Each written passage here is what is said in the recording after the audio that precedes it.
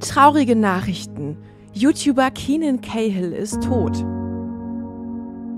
Er verstarb mit nur 27 Jahren am 29. Dezember, wie ein Sprecher der Familie gegenüber dem Sender WGN bestätigte. Mit YouTube wurde Keenan vor allem in den frühen 2010er Jahren berühmt. Mit seinen lustigen Lippensynchronisation-Videos wurde Keenan auch bei großen Stars wie Ariana Grande, Katy Perry und 50 Cent bekannt, die mit ihm zusammen vor die Kamera traten.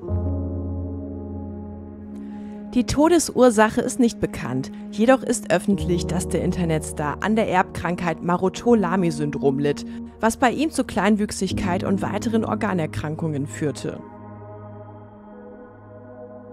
Noch wenige Tage vor seinem Tod unterzog sich der Internetstar einer Operation am offenen Herzen, wie er Mitte Dezember auf seinem Instagram-Account erklärte.